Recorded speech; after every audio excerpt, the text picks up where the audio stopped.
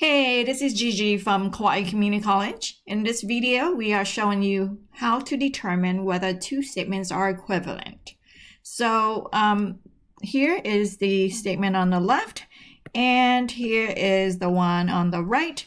And then um, it depends on how your um, brain works, but uh, for me, I'd like to just go ahead and um, build a truth table for the left-hand side and then build a truth table for the right hand side and then show that they are equivalent, meaning um, the truth values are the same for all of the possible combinations.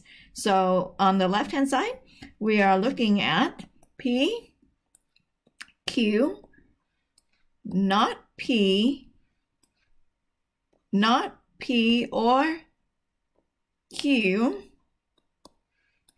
and then not P or Q imply Q. So that is the left-hand side. Now, I would go ahead and put that in parentheses. And um, if you're taking a test or whatever and it's not there, you want to clarify that. Is it not P and or Q? Uh, if not P or Q, then Q? Or is it uh, not P or if Q, then Q? right? So, I mean, it just sounds weird the other way around. So, um, but parentheses is um, something that we should use to clarify what we mean. Um, so make sure you include that parentheses right there.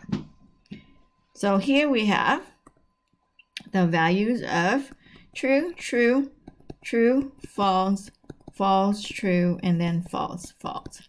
Okay, not P means the opposite of P, so we will have false, false, true, true, and then not P or Q, or means um, either this, that, or both. So as long as there's one true in there, then your statement is true.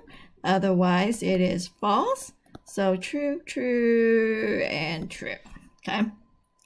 And then we would go from here to Q, and it goes that way. So true, if true, then true, then the statement is true.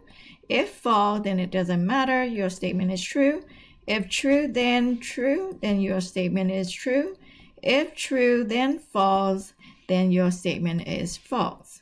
Okay, that's on the left-hand side. Now, um, on the right-hand side, if I build the same um, corresponding truth values, P, Q, and if I list them the same way, true, true, true, false, false, true, false, false. And um, in the end, if the values are uh, the same, then we would say they are equivalent, P or Q, right? So P or Q means this, that, or both. So this is true, true, true, false. And so we notice that the values here and the values here are the same. So we would say um, these two statements are logically equivalent. And we say this is equivalent to that.